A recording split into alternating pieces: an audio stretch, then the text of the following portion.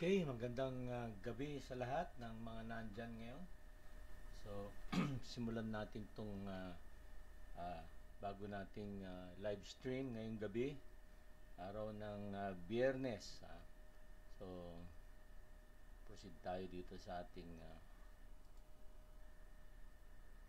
okay. Mga banal, pinupuri ka namin at uh, pinasasalamatan sa mga biyaya at sa tuloy-tuloy mong paggabay sa amin. Maraming salamat po sa pagkakataon na makapaglingkod sa aming mga kapatid at sa aming bayan. Sana po magawa ito ay magbibigay ng dagdag na kalaman, kakayahan at kaunlaran ng bawat isa at para sa aming bayan. At sana po, layo mo po kami sa mga sakit, lalo na yung COVID na yan at saka mga disgrasya o mga sakuna. Lahat po ito aming tinataas sa iyo dakilang Ama sa pangalan ng iyong anak na si Jesus. Amen. Kaya ako po si Engineer William Masindukuan, isang uh, professional electrical engineer at uh, ako ang uh, pangunahin na nagsusulong nitong uh, Certified Renewable Energy Practitioner or CREX program ng MEPF Organization of the Philippines. Ang layunin nitong uh, CREX certification ay uh, aim to train and develop technical people who can plan, design, estimate, procure, supervise, install, test and commission, monitor, operate and maintain, and expand rooftop micro re- renewable solar, energy supply system sa mga ating mga tahanan. At uh, ito yung uh, ginawa natin na syllabus ng uh, uh, CREX program. Of course, hindi limitado dito. Kung meron tayong nakitang pwedeng dapat idagdag, ay pwede nating isama. Of course, ito ay para sa lahat, kaya makikita nyo sa simula nito, merong mga basic mathematics, Ohm's law, yan. Kasi, pwede rin yung mga non-engineering, no? Kunyari, enthusiast ka sa larangan ng renewable energies, lalo na itong solar, uh, namamangha ka, uh, mukhang maganda to, ganyan, no? Pero wala ka sa engineering o technical, eh pwede ka rin dito. Okay, maski anong linya mo, kasi itong uh, solar, pa, makikinabang ang bawat tao sa bansa natin. Ayan. So, yung mga technical na lectures, karamihan, no? Pero, meron din part dito na para sa magbi-business. Kaya, pati yung gusto magnegosyo, palagay mo, tinapos mo, eh, business administration o entrepreneurship. Kaya, o di kaya maski nasa ibang linya ka, oh, malayo ka sa technical, pero uh, ika nga, parang fascinated ka dito sa energy na maaaring nakukuha natin sa uh, haring araw, no? sa liwanag. Paano siya ma-convert sa kuryente? Ay, ito pwede ka rito. Ha? Kaya si, ito'y sinisimulan sa basic mathematics, Ohm's law, and other electrical engineering theories, mga DC circuits, AC circuits, tapos basic solar technology, basic component interconnections, solar DC supply distribution, grid tie, off-grid, hybrid, ha? at uh, mga iba pang kombinasyon. At ito ngayon ang didiscusin natin ngayong gabi nito, design calculations, basic design calculations. Then, of course, kasama rin sa programa itong sourcing, kung saan ka magne-negosyo ka nito, saan ka ba pwedeng uh, maghanap o bibili, di ba? Then, solar economy and payback, kung maglalagay ka nito, gaano katagal bago mamabawi yung investment mo. Okay, then design of energy storage, uh, mga baterya ito, no? Kasi yung electrical engineering sa college, eh, wala pa nito eh. Masyadong nakafocus pa yung curriculum ng electrical engineering, Bachelor of Science in Electrical Engineering, sa mga universidad at kolehiyo, doon sa mga malak malakihang sistema. Yung meron kang power generation, mga power plants, katulad yung mga uh, Magat, hydroelectric, yung mga pantabangan, hydroelectric, mga makiling banahaw, hydroelectric, yan. At saka yung mga kalayaan, pump storage, hydro, of course, yung mga coal-fired power plants, ah, yung mga nandyan sa sa Suwal, Pangasinan, yung mga nandyan sa Pagbilao, Quezon, nasa Mauban, Quezon, sa Kalaka, yan, yung mga coal-fired power plants, and of course, yung mga gas-fired meron tayong malampaya gas na, na nakukuha sa uh, West Philippine Sea sa may west of Palawan no sa dagat doon merong gas doon na makukuha, naka-piping yun papunta sa Batangas at merong mga power plants doon na ah, gumagamit nitong gas na ito para mag-generate ng kuryente. So, karamihan nandun pa sa ganong klaseng design. Ah, ang mga nandyan sa curriculum natin sa eskwelahan. Hindi pa nakagawa ng pagbabago itong mga universidad. Eh dapat ito aprobahan pa ng ah, Board of Electrical Engineering at saka yung PRC, yung mga pagbabago sa curriculum na yan. Pero tayo, dahil nakikita natin na ito ay napaka ka, ah, halaga sa ating ekonomiya, itong solar, eh, nauna na tayo gumawa ng ating syllabus o curriculum, no? Para dito. Ah, at sa halagang 5,000 lang, pwede ka nang matuto. Hindi man very advanced, pero maganda nang simulan. Kasi kung malagyan mo ang tahanan mo, makikinabang ka na.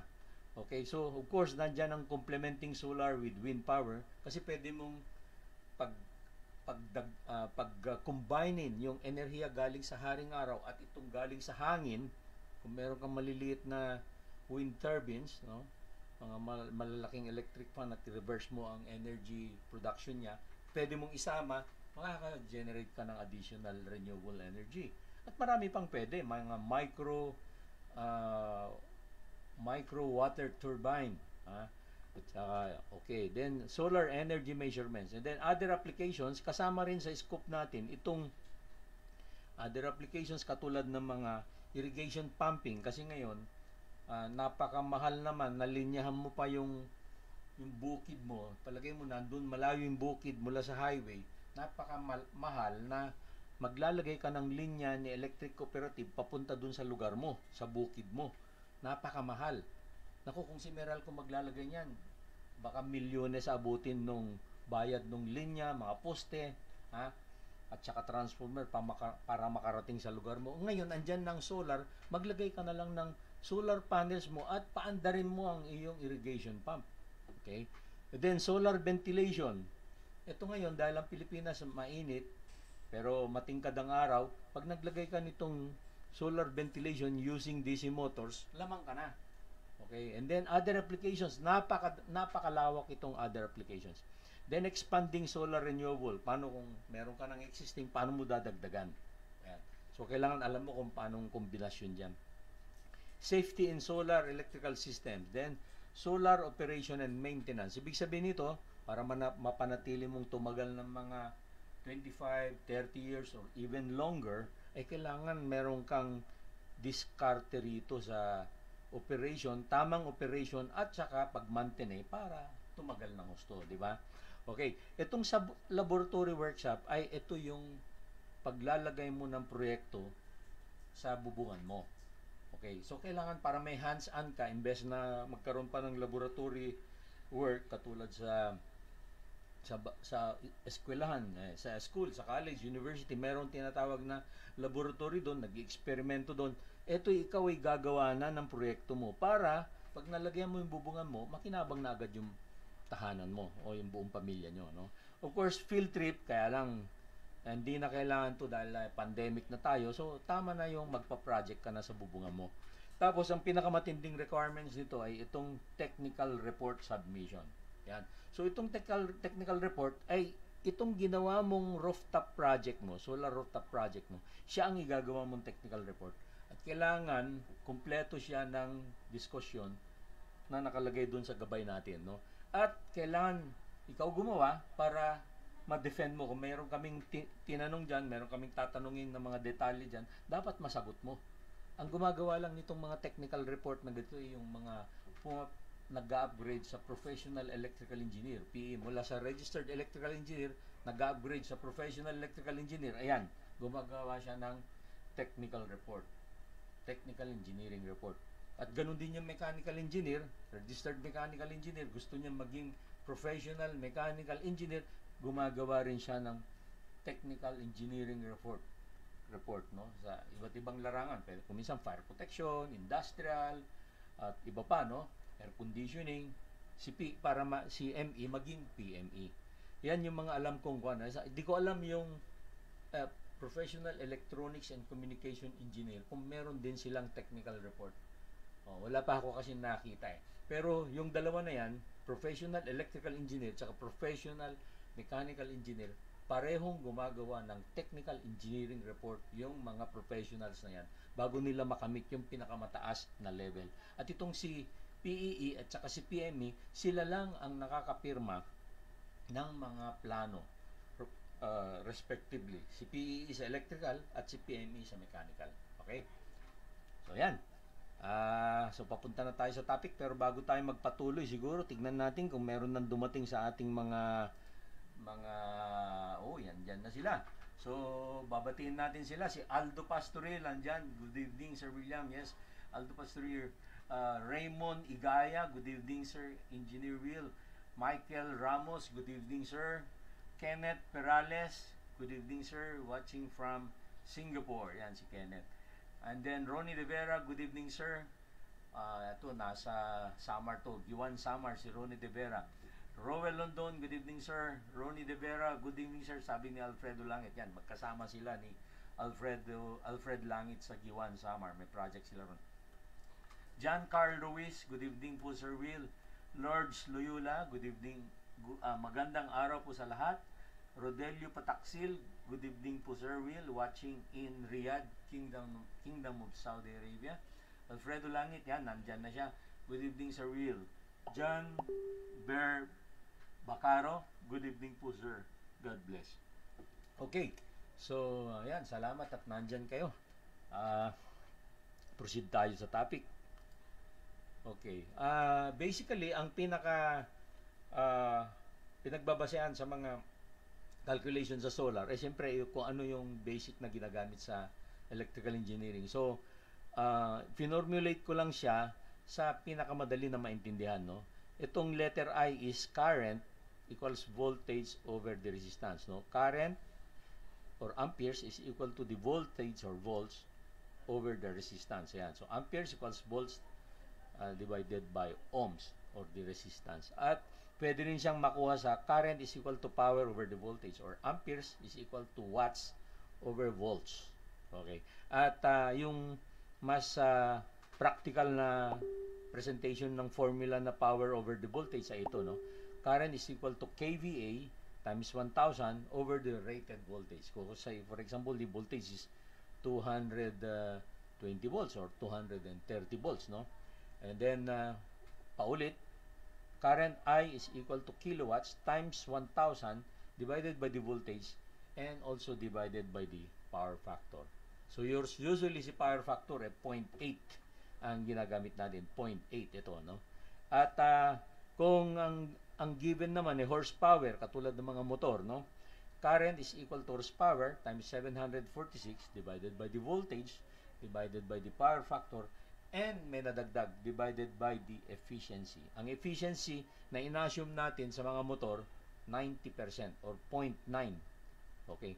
At kung three-phase, ito, three-phase system, eh, yung, kunyari, I is equal to kilowatts times 1,000 over voltage over the power factor, i-divide mo lang siya ng additional na square root of 3 o 1.732. Ito is square root of 3.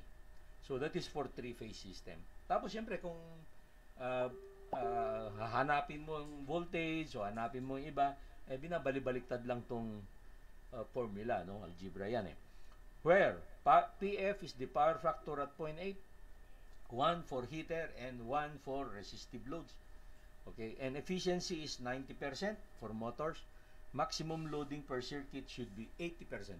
Itong maximum loading, Sinasabi kasi ni Philippine Electrical Code na bawat sirkito, basta branch circuit yan, dapat kargahan mo ng pinakamataas na 80% lang.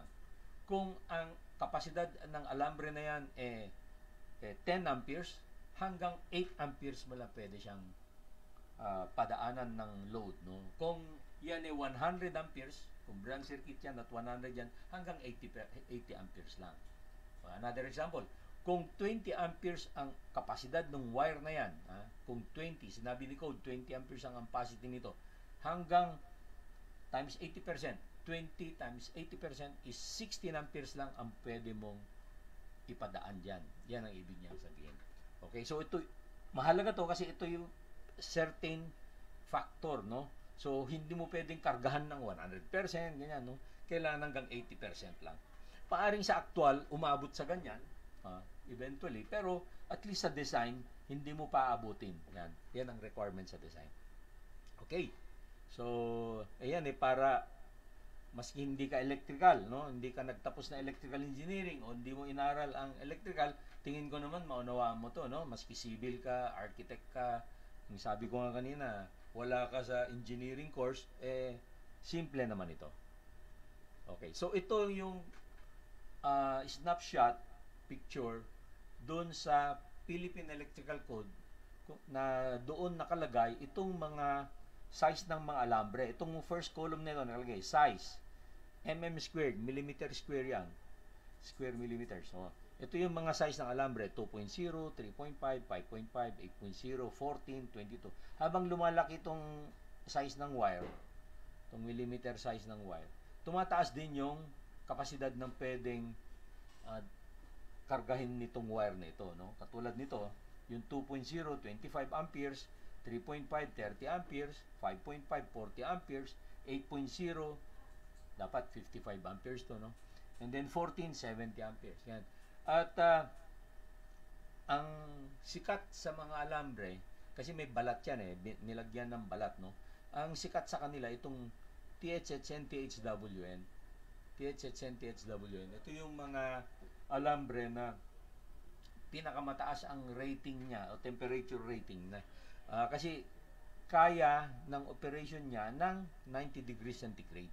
Yan o. Kasi yung ibang alambre 60 degrees lang. Yung isa naman 75 degrees lang. So ito sa mga tatlong klase ng alambre 90 degrees itong column na ito. Kaya siya naman ang nire-recommenda kong dapat gamitin natin kasi mas mataas ang kanyang rating. Okay. At tandaan natin na itong mga alambre nito, yung kanilang balat, yung insulation na plastic o rubber man o whatever is that uh, material na pinambalat niya para hindi tayo makuryente no? Ay insulated ng 600 volts. Yan 600 volts insulated okay? So uh, basta building wire yan 600 volts insulated okay? So dahil ang solar maliliit lang naman yan mala, malamang ang wire mo 2.0 3.5, 5.5, 8.0. Pag umabot ka sa 8.0, napakalaking solar solar inverter na yan or solar system na yan. Kasi kung pambahay lang, maliit lang eh. Ha? Ang gumagamit lang na malalaki naman dun sa solar farm. Yan, kasi medyo malaki yung mga kuryente dun. Ha? Mga solar farm kasi megawatts ang inaabot. Eh pang solar rooftop naman, malaki na yung 5 kilowatts or 7.5 kilowatts, no? Kadalasan 1 kilowatt, 2 kilowatts, 3 kilowatts, 4 kilowatts, 5 kilowatts, 6 kilowatts. Malaki na yung 7.5, no? Yun, yung sa karamihan sa mga bahay o kaya maliit na opisina, no? Okay, so typical solar panel nameplates.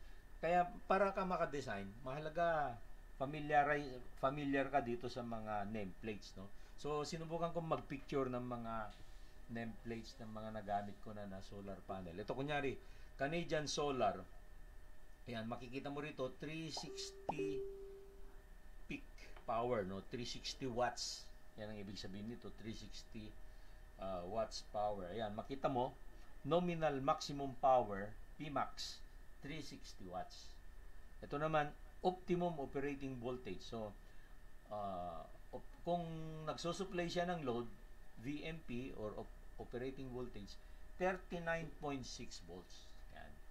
At uh, pagka naman uh, open circuited, yung hindi pa nagsusupply ng uh, ng power sa inverter o sa MPPT o charge controller, naka-open circuit lang yung terminal ni ni uh, solar pero matingkad ang liwanag ni haring araw, ayan, makikita mo 47 volts.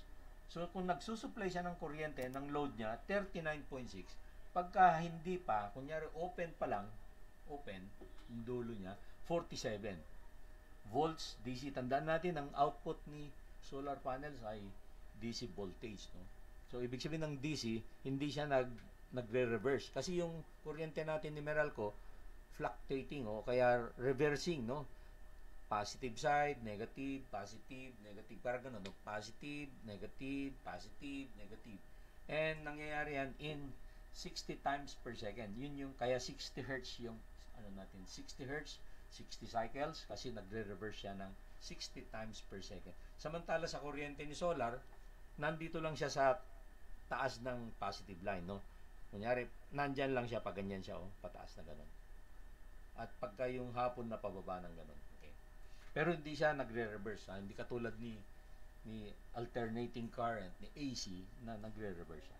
Okay, tapos makita mo rito, optimum operating current. IMP. Op- Optimum operating current. IMP. 9.1 amperes. Yan, kita mo, 9.1 amperes. At tapos ito, meron din siyang sh- short circuit current. Ang ibig sabihin, kung shorted yung terminals na at matingkad ang liwanag ni Haring Araw, ang dumadaan sa linya would be 9.67 amps. Maximum, maximum system voltage, 1,500 volts. So, ibig sabihin itong mga ah, solar panel, nakadesign na sila sa pinakamataas na DC voltage, 1,500 volts. Kasi, pinayagan na ng code na pwede kang mag-series ng maraming panel para makaproduce ka ng mataas na voltahe, which is ah, ang maximum limit is 1,500 volts DC. Okay?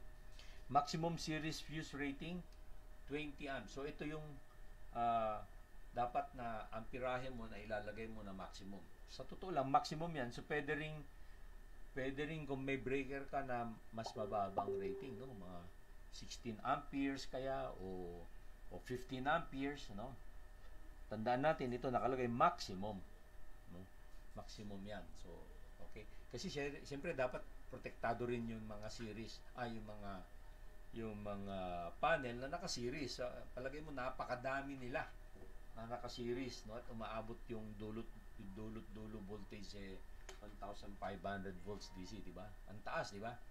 Pero dulot-dulo yon ibig sabihin. Pero isang panel, ang voltahe mo lang eh 39.6 pagka nagsusupply ng load. Kung kung naka-open circuit, hindi nakakonekta yung mga dulo, 47 volts ang bawat terminal ng solar panel.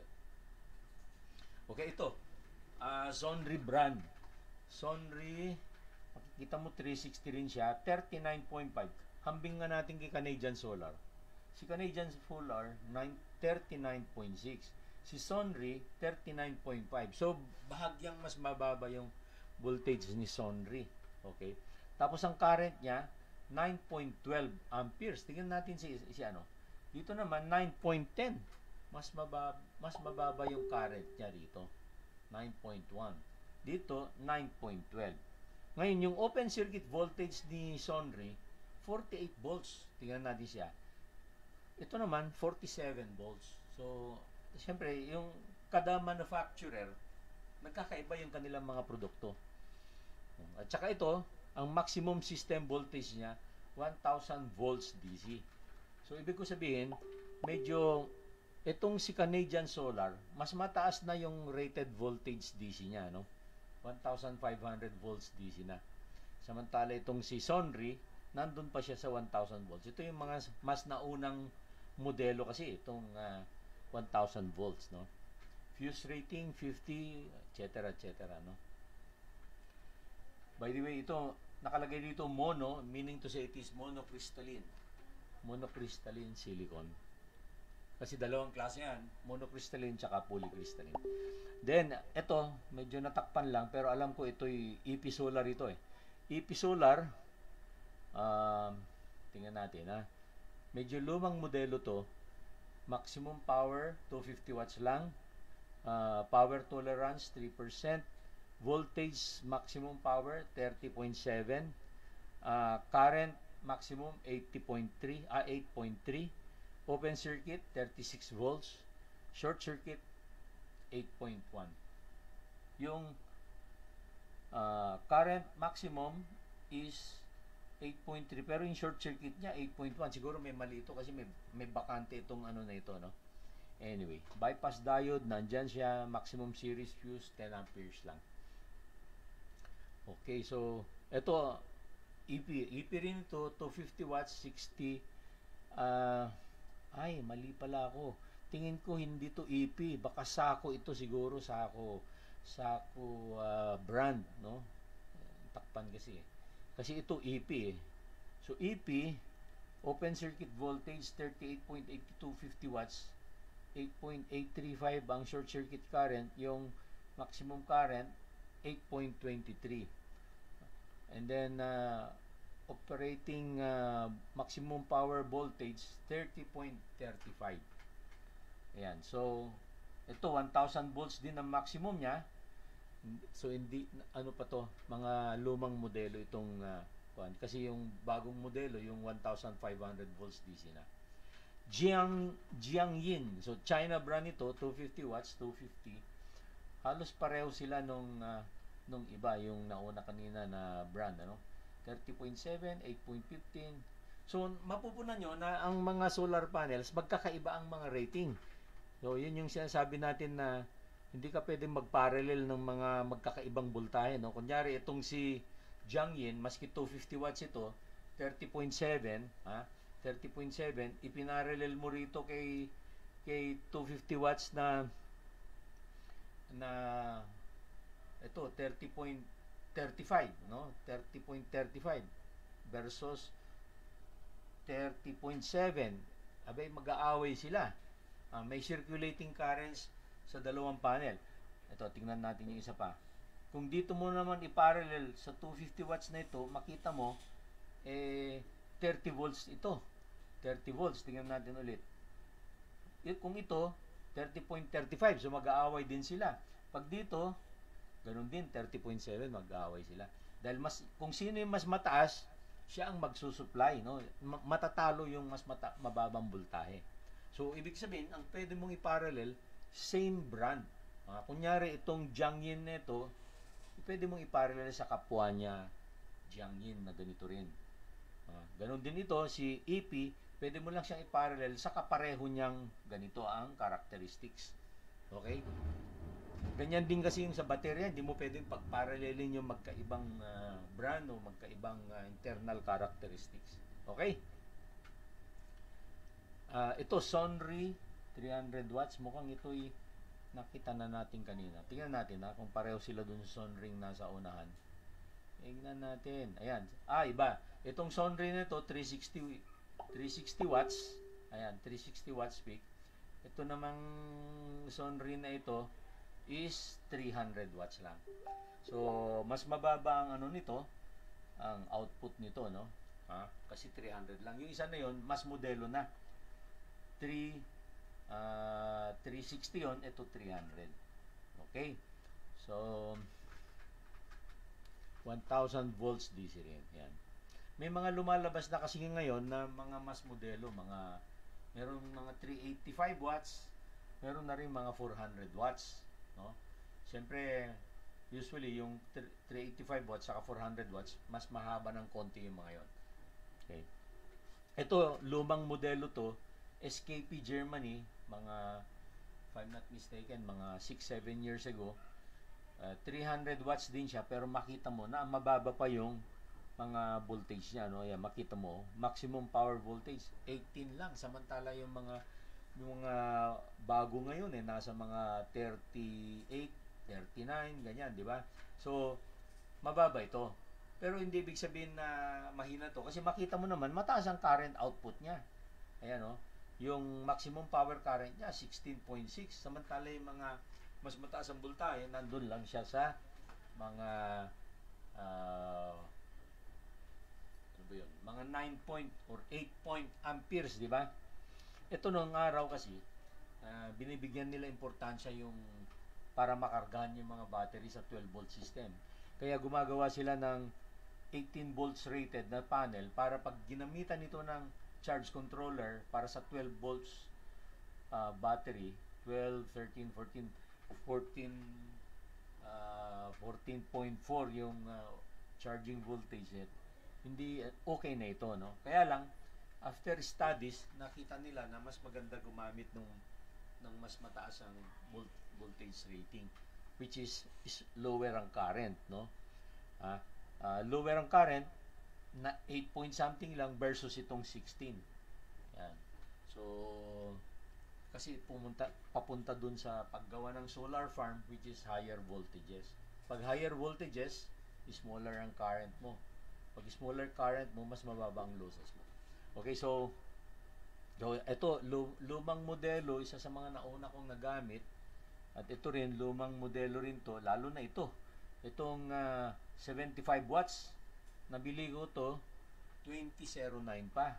Mga sinauna pa. Ito yung napakamahal na nabili ko noon ng mga oh, 79,000 ang isa nito noon, ha? 79. Samantala itong mga 250 watts na ito, eh, nasa ano lang to, mga at that time mga 10,000 no? Mga nung nabili ko itong mga ito.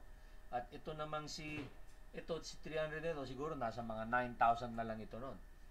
Pero ngayon nasa ah, 5 to 6,000 lang siya.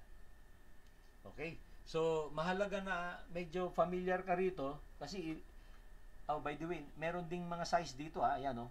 Makita mo yung overall length niya 1.96 by 1 meter ang lapad. Ang thickness niya 0.45. Doon sa mga luma, makikita mo 1.12 o 1.19 or 1.2 0.53 meters ang lapad. Pero yung haba nila 1.6 by 1. Tingnan natin yung mga 360. Yung 360 kasi mahaba eh. Ayan, tingnan natin tong 360. Ang 360, makita mo ang haba, ah, wala yan, 1. 1,956 millimeters. So, almost 2 meters siya. Tapos, 992 millimeters ang lapad. So, ibig sabihin, mga almost 1 meter. So, kung minsan, ginagamit ko na lang 2 by 1. No? 2 by 1. Para lang mabilis mag mag uh, compute ng anong area ba ng ano niya pwede, ang masasakupan ng isang panel. Okay?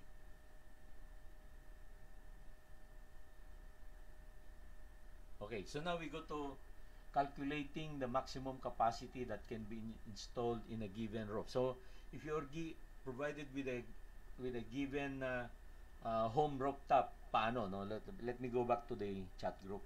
Baka, baka meron kayong mga tanong dyan, yung mga bagong dating. No? Okay, so, uh, sino bang last message na nabanggit ko kanina? Ah, ha? Oh, dito si John Berbacaro, I think, no. Ray Anthony Palomo, good evening Sir Will, good evening. Joel Barnaquilla, good evening Sir Will. Nasa Middle East din tong si Joel, no. Aldrino Ma- Magno, good evening Sir Will. Ah, Francis Arnel Tolentino, good evening Sir Will. Lords Loyola, Sir, good eve po, more power watching here in Riyadh. Oh, oh, may kasama ka dyan, nasa Riyadh din na ano, ah, Lords, no? Sino nga ba yun? Nakalimutan ko na. Pero nandyan, mamaya maki, maano natin, mabati ulit natin. Ah, pwede po hingi ng presentation kahit PDF. Okay, so balik tayo. So ito, nan nandun sa luma kong mga PowerPoints pero in-upgrade ko lang yung mga sizes, no? So using 300 watts photovoltaic panels, no? uh, and providing for enough space for maintenance access, no? So 1.64 by 1 meter wide, 8 meters wide by 15 meters long ang, ang bubungan, two slopes reach along the length. Yan ang ma- kuwan, parang paganyan lang siya, no? no very slight yung kanya. Maximum solar capacity would be 8 meters minus 2 times 0.9 uh, divided by 1 meter or it is equal to 6.2 or 6 panels, no? Yung haba naman niya 15 meters minus 2 times 0.9 minus 5 times 0.6 uh, makukuha mo would be 1. Point, ah, divide by 1.64 is equal, equal to 6.2 or 6 panels. So, so parehong 6 panels. So therefore, total number of panels is 6 by 6 equals 36. So kung 36 pieces sa times 300 watts, yung bubungan na yan, pwedeng mag-generate ng 10,800 watts or 10.8 kilowatts peak. Laging peak yan kasi yan yung peak. Ah, hindi average na capacity yan, no? Pag ganun kasi yung output niya, pag ganun. Oh, so yung peak niya yon. Okay? layout of the 36 units, ayan ang tsura niya. So may spacing in between the panels. Yan, may spacing yan. Yan, yan, yan. Pwede mo rin pagdikit-dikitin kung gusto mo, kung ima- i-maximize mo. So ito, nagbibigay lang ako ng option na kung hindi mo naman masyadong kailangan ng ah, optimum power, eh, lagyan mo na lang spacing. Pero kung kailangan, kailangan mo ng extra capacity at ah, kaya naman ng pera, ng budget, eh, dikit mo na lang para mahalaga yung maximum ang harvest mo. Okay? Okay, another house na dinesign natin dati, ah, ano to, four story uh, mixed commercial ito, eh, nakumbinsi ko yung owner na lagyan namin ng solar. Yun, pumayag naman siya, so we have to lay out the panels in this arrangement, no? So, makita nyo, we were able to put uh, so many panels and can generate up to 37 kilowatts peak, no? Kasi ang ginamit namin eh 370 watts panel. Yung 370 watts, ang size din niya is 1 ah 2 meters by 1. 2 meters by 1. Meron na kasi yung mga ah, bagong mga panels na mas modelo na sila, mas mataas na yung output nila. Yung original na na 300 watts, nag-improve sa 360 watts, nag-improve na naman siya sa 370 watts. Okay. Yan, at ah, ganyan yung arrangement niya. Ah, yung slope ng ah, bubong, pa ganyan, yan. Dahil andito ang timog, side nito, ando naman ang ang ah, north, no? So ito ang south, ito ang north. Kailangan yung slope mo laging naka-slope siya facing south. Tandaan natin yan ha, kasi ang dami pa ring nagkakamali. Basta patong lang sila ng patong ng kanilang panel. Maski saan, no? Sige ng sige. Eh, alam mo, maximum pa rin na kailangan facing south. Yun ang pinaka the best na mounting. Facing south. Pwede ka rin magpatong ng facing north pero hindi ka makaharvest ng maximum energy. Mga mawawalan ka siguro na 30 to 40%. Ha? At habang palapit ka sa north, sa Amerika, sa ano, masyadong malayo ka sa equator, lalong halos pawala yung ma-harvest mo.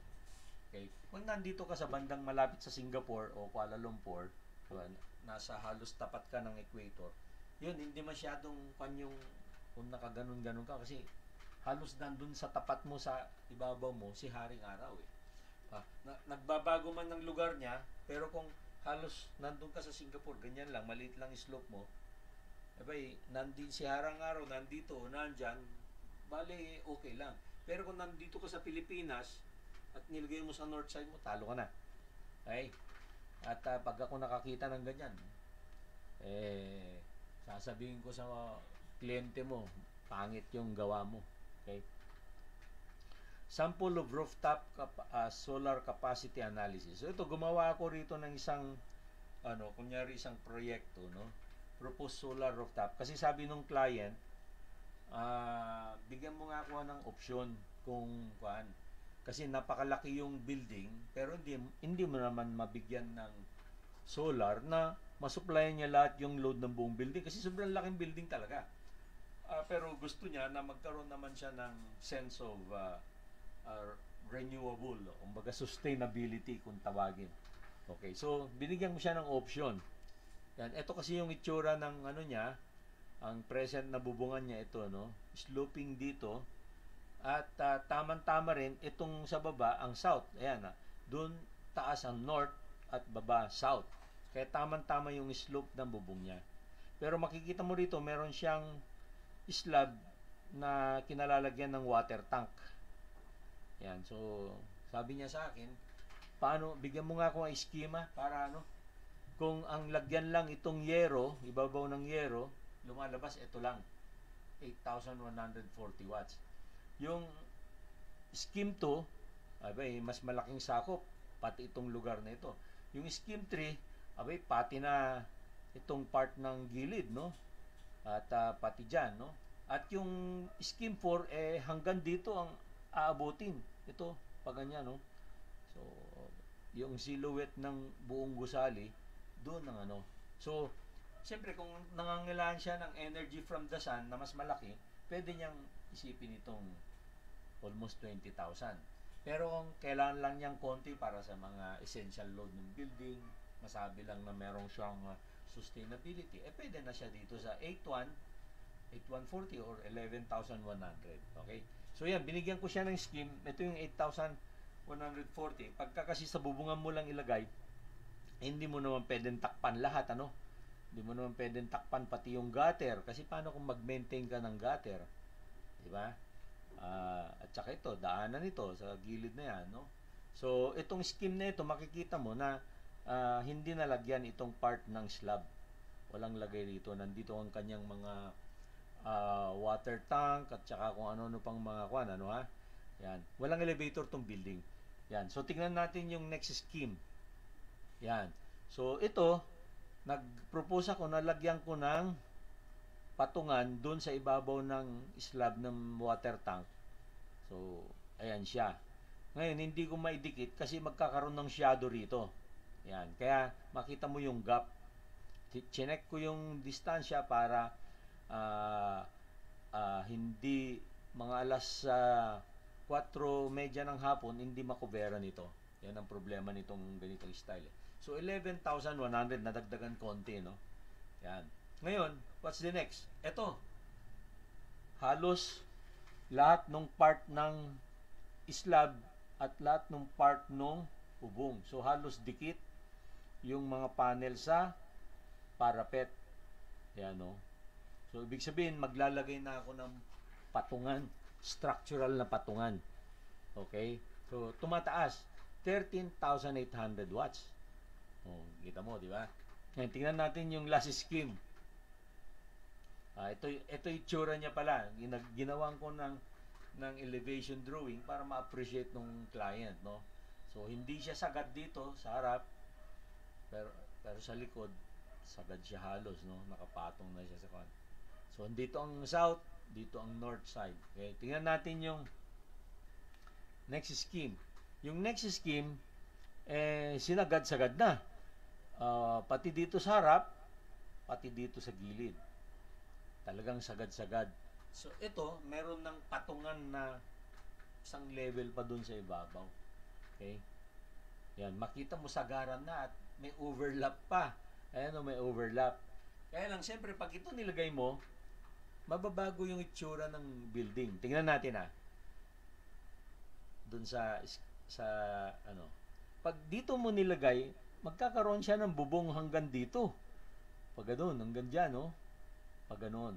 It which mangangailangan ka ng ilalagay, maglalagay ka ng ano, bagong parapet, no? Parang maliban dito sa itong facade design nito, maglalagay ka ng kandon para ma-disimula mo yung kan. Pwede pa rin.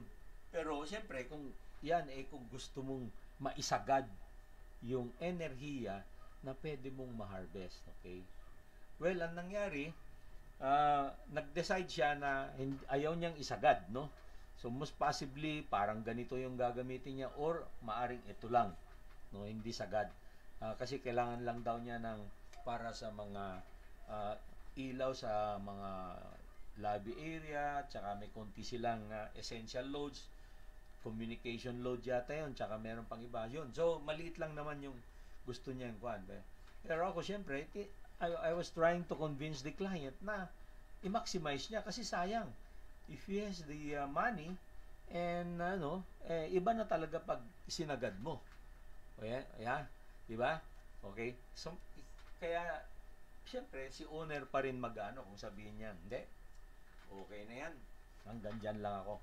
So, ganun. So, I was able to give the client, by the way, ang siyang naging kwan pa rito is, uh, dahil magiging ganito ang bubungan, eh, siyempre, you have to consider also the, ano, the, the wind load, no? Eh, yung pala yung project, Samar. So, natakot, medyo takot yung ano, yung client. Sabi ko naman, di naman problema kasi pag dinesign mo yung structural mo, ginamitan mo ng mga steel structure yan, eh matibay yan, hindi malilipad ng ng uh, pinakamalakas na bagyo. Maski sinlakas ni ni Typhoon Yolanda, hindi malilipad. Kasi, siyempre, titibayan mo naman yung mounting mo eh. Ha? At saka, siyempre, maliban dyan, isasama mo yung loading ng buong building. No? Tingnan natin na ground, second, third, fourth. So, ito yung uh, deck level. Pero yung sa ibabaw ng deck, naglagay ka pa ng steel structure na nakamounting sa mga parapet. parapet. So, yung bigat niya hindi basta maililipad ng hangin. No? Lalagyan protection. At siyempre, ayan, no, katulad ng isa kong project, eh, eh, pinagawan ko sa structural engineer ng ano ng uh, wind load analysis no yan makita niyo ginawa niya as per my design analysis of the solar panel structure above I can certify that this structure is structurally safe based on the National Structural Code of the Philippines 2015 Volume 17 Edition Section 2007 wind loads signed yan so ibig sabihin yung yung iba na hindi maalam natatakot na malipad ano yan parang saranggula eh, pag di mo alam may structural mo, eh, ganun nga. Di ba? Matatakot ka kasi yung factor of ignorance malaki. Okay, so balik tayo sa chat group. Tingnan natin kung uh, meron kayong mga tanong. Okay. Aha. Leo Sampiano, good evening, Sir Will. John Dogos, good evening po, Sir Will. Okay. So, wala. Wala kayong mga tanong tungkol sa discussion natin. Okay, sige. Uh, tuloy tayo. Typical inverter nameplates. Maging next paka-aral ready for online classes sa bahay. Sa FamLoad Study 999. So ito, magpapakita ko ng mga ilang nameplate. Hindi kompleto to eh, pero kasi kanina ko lang tinapos to, no? Eh, hindi pa tapos na tapos kasi bala ko pang dagdagan ng additional na mga insertion, no? Okay, so to makita natin solar inverter, model name, yan, AC input 230 volts AC 50 or 60 Hz single phase AC output 230 volts AC 50 Hz uh, 60 Hz okay and then grid charger 40 amperes DC input 48 volts so from battery ito photovoltaic voltage maximum 145 volts DC so hanggang uh, ganyan lang. Kasi yung iba hanggang 550 volts DC. Photovoltaic charger, MPPT 80 amps maximum. By the way, by looking at the nameplate, makikita mo, at kunyari ito, LVTS 30 5044 5048 itong 30, LVTS 30, parang serial number ng manufacturer or model number. Pero ito, ma-analyze mo na 5 means uh, 5 kilowatts and uh, o 5 kVA and 48 is 48 volts. Yan ang usually na hindi yung 50 is 50 hertz hindi, hindi. 5 is to designate the the capacity in kVA or kilowatts and 48 is the is the rated voltage in DC yung battery ano niya kasi ito uh, itong model na ito is a uh, uh, hybrid of grid Okay. Balik tayo. Next. Ayan.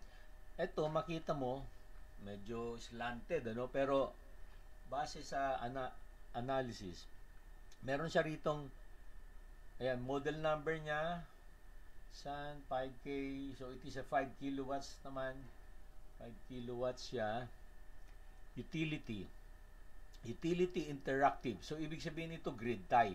Kasi may utility interactive, no? Uh, then, stand alone. So, ibig sabihin stand alone, pwede, pwede, pag brown out si grid, pwede siyang gumana. Yan, AC output voltage. Kaya niya mag-supply ng AC at 230 volts, 60 Hz. Pag walang power utility. So, grid tie na pwedeng standalone. So this is a hybrid grid type. Discharge battery voltage uh, discharge battery voltage range 48 to 60 volts no. Maximum discharge current 120 amperes no. Then charge mode. Kung battery voltage 48 volts yan.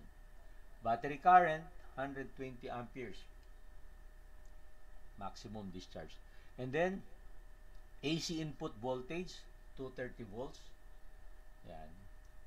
Ah, ang range ng pwedeng voltahe will be 160 to 265. And then frequency 50 hertz or 60 hertz ito. Usually 50 or 60 to eh. No? And then AC input rated current 21.7 amps. Maximum AC input current 25. And then maximum AC input power 5,500 watts. So so that means uh, medyo ano pala to?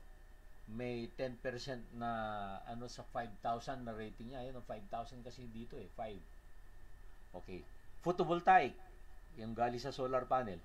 Input voltage 370 volts DC. So ang uh, range would be minimum of 100 volts DC hanggang 500 volts DC. Pero uh, input voltage ha, dapat naglalaro lang sa 370. MPPT is from 125 volts DC minimum to 425. So ibig sabihin pagka makulimlim na o madaling araw, ah, umaga pa lang, yung kalalabas pa lang ni Haring Araw sa umaga at hindi pa makalampas sa 125 volts DC yung output, hindi pa siya mag magti-trigger para gumana. Pag, lampa, pag dating ng 125 volts DC, that's the time na gagana siya, mag-automatic siya. Photovoltaic input current 11 amps. And then maximum photovoltaic input power kita mo to, mataas din, no? 6,500 yung pwede mong ilagay na uh, power ng galing sa solar, solar panels, no? Yan, so this is a uh, a hybrid grid tie. Oh, hybrid on-grid. Hybrid on-grid. Parang yung Infinisolar doon sa mga discussion natin. Okay, tingnan natin to. Inverter, 5 kilowatts, 48 volts. Okay. Color code, silver and black.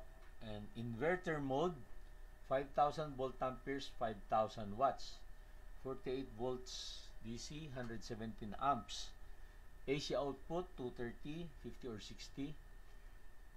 AC input mode, okay, 230. DC output, 54 volts. And maximum amperes, 60. AC output, 230. Okay.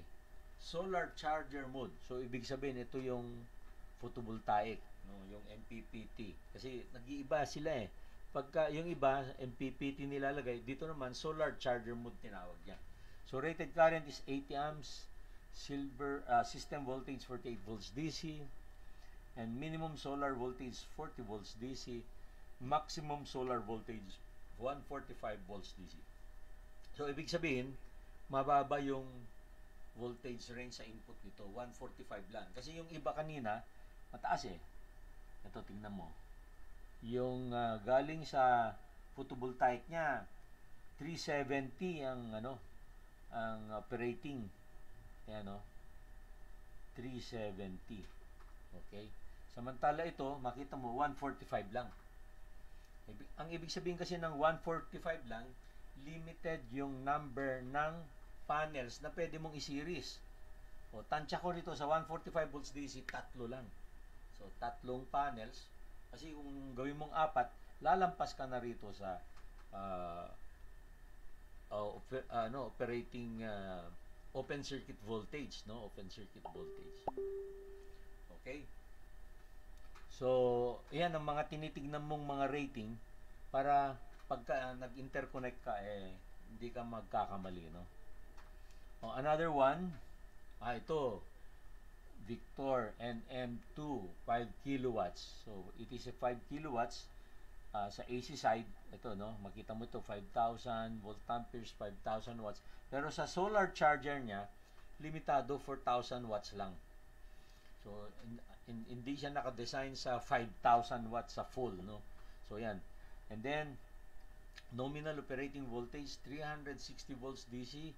And then, maximum solar voltage, 5 5,000 uh, 500 volts DC MPPT voltage range 120 up to 450 volts DC so ito ang design nito na pwedeng mag-series ng mag-series sa mga panel. Okay? Series ng series sa mga panel. So, yan, magkakaiba eh. So, kailangan, kailangan dito sa mga nameplate, maunawaan mo kung paano. Ha? Kaya, kaya hindi pwedeng kabit lang ng kabit kasi, kuan eh, so minsan yung mga manufacturer, nagpapakondak pa sila ng mga seminar sa specific na pagkabit ng kanila. Kasi nakita nyo naman, magkakaiba ang rating, no? Magkakaiba yung rating dito. So, kailangan ma-interpret mo sila ng maayos para hindi ka magkamali. Okay. Ito yung ah, SMA ito. Ito yung ah, isa sa mga pinakamagagandang brand. Ah, itong Sunny 3 Power, no? SMA. Yan, tingnan natin. SMA Solar Technology AG. AG meaning to say Germany, originally from Germany. Uh, yan, no, Germany, SMA, Sunny Tri-Power Solar Inverter made in Germany by SMA Solar Technology. Pero siyempre, itong mga SMA na ito, eh, gawa na rin sa China. Ang, yun lang, ang quality control, mga Germans. Okay. Date of manufacture, 2017, 11, 15. So, nakalagay ang mga date of manufacture, no? Serial number. At ito, makita mo 20. So, it is a 20 kilowatts unit. Tingnan natin. Ah, maximum operating ah, power, no? Voltage. From 320 up to 800 volts. So, makita mo na ma- mataas. Mataas ito, no? That means, so, may, pwede kang mag-series ng maraming mga solar panels para ma makamit mo tong ah, ah, malapit-lapit sa 800 volts DC. DC current maximum 33 amperes, no? 33. At ang short circuit current niya is 43 amperes.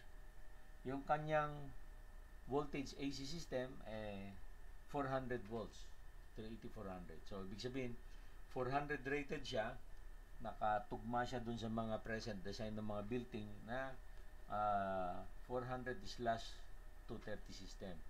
Ito yung sinasabi kong ah, more efficient kaysa dun sa mga 230 volts system, no? Power. Ito 20,000 watts or 20 kilowatts. Maximum ah, power apparent 20,000 volt amperes or 20 kVA. Then uh, frequency 50, 60 pero this should be 60 Hz no. So automatic siya sa loob, mag-adjust na siya sa 60 Hz. Then output AC current 29 amps. Okay, so yan. IP65 so it is a uh, uh, I think weather ah hindi, hindi weather protected. No, ah, ano lang siya. Ah, parang NEMA 1 lang siya. Kasi kung ah, yung IP55, yun ang ah, weather tight enclosure. Okay? Yan, so papunta na tayo sa energy calculations. Sa balik tayo sa chat box kung meron kayong tanong. Okay, yan na kanina nandun tayo kay ah, saan ba tayo natigil? Ah, si ano yata? Jan Docos. Ah, Leo Sa- Sampiano Jan Docos. Ayan. Aldo Pastoril, Sir Will, meron bang minimum or maximum voltage na ma-inject sa isang battery 12 volts DC rated? Ano- meron bang minimum or maximum voltage na ma-inject sa isang battery? Ang battery mo, pagka karga, kakargahan mo, let's say 12 volts, ang ah, maximum floating voltage niya is um, 13.8. Pero merong mga models na umaabot sa 14.4 volts DC. Okay. Siyempre, pagka habang kasi pag ganyan yung output niya eh, halos flat, pababang ganyan. Ngayon, pagka nandun na siya sa mga 12 o 12.2, ganyan, 12.3, eh medyo ano na yan, mahina na yan. Kailangan magkarga na dapat, no? Okay? At ah, siyempre, pag below 12 na yan, wala na yan. Magiging load na siya ng ibang battery na malakas. Masasayang na, di ba? Okay, so, so yun siya, ah, 12. 12 ang ah, charging voltage mo maximum na floating charges 13.8 So kung 13.8, parang 1.8 volts higher than the rated voltage of 12. Di ba? Kaya kung um, sabihin na lang natin round off natin yung 1.8 or 12 or uh, 13.8 gawin na lang natin 14 para lang madali tayo mag-compute. So 14 kung naka-series ka ng apat para maging 48 uh, 4 times 4 16 carry 1 56 volts. 56 volts yung kwan. Pero may nakikita ako na na ibang batteries kaya nilang gumana up to uh, 14.4 okay. So Jandel good evening Sir good evening. Uh, Michael Ramos. Hi sir. Usually how many volts per volts per solar panel? Standard po ba yon ah nakita nyo naman kanina iba-iba di ba? Um, meron mga 38 may 39 may mga uh, meron din mas mabababa. Oh kung ano yung pinakita ko doon ah, may luma na doon may mga bago.